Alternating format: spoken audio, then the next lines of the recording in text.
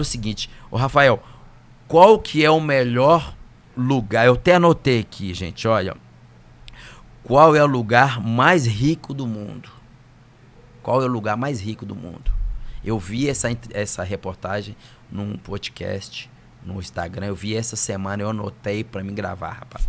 O lugar mais rico é o cemitério. Por que o cemitério? O cemitério, Rafael, tá cheio de atleta que nunca ganhou uma medalha. Tá cheio de músico que nunca compôs uma música. Entendeu? Tá cheio de sonhos não realizados, muitos amores que foi destruído. Então o cemitério é o lugar mais rico. Você entendeu? Então eu não quero enterrar os meus sonhos. Eu não quero enterrar minha riqueza. Você entendeu? Eu quero deixar minha riqueza. É o que eu estou fazendo agora. Então tudo que eu faço hoje, eu estou plantando para o pessoal colher. Não é para mim. Eu estou plantando box. Ó, o Pedrinho, né, que eu falo, que a gente eu falei que eu não ia falar dele, porque senão eu ia chorar, né, Rafael?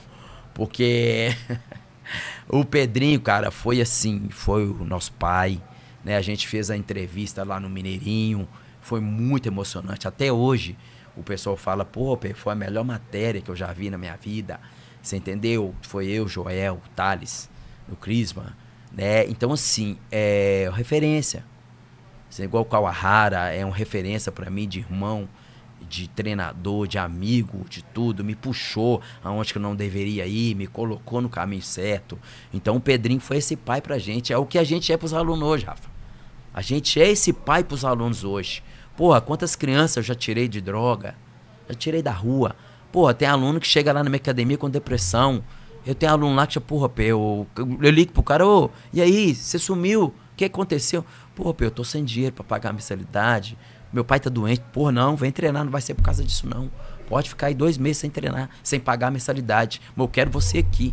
Pô, o cara vai lá, eu tô com depressão, vamos treinar. O dinheiro não é tudo na vida, não. Entendeu? Então, assim, o, o Pedrinho, nessa época, foi esse pai pra gente. E antes dele morrer, ele virou pra mim e falou: Sô, P, é, eu não quero, não deixa o meu boxe morrer. Não deixa o meu boxe morrer. Então, o que eu faço hoje é para ele.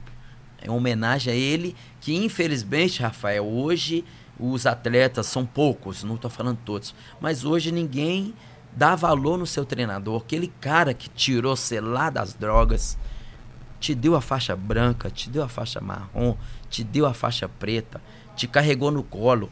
O cara vira as costas para você e vai para outra academia, vai não sei para quem, não sei para quem, e nem fala quem é você. Entendeu? Eu tenho muitos assim que foi. Porra, cara, pô, treinou comigo ali, tá lá em cima. Porra, nem fala. Pô, eu queria agradecer o Pelá por ter puxado uma manopla para mim. Pô, mas eu não quero gratidão também não, Rafa. Eu não quero. Eu falo o seguinte, eu, eu, eu olho quem vai, quem vai ficando. Eu dou valor em quem vai ficando. Quem foi, já foi. Uhum. Aí que eu acabei de escrever aqui agora, ó. Cemitério tá cheio. Quem foi, já foi. Porra, é, e eu, eu, vejo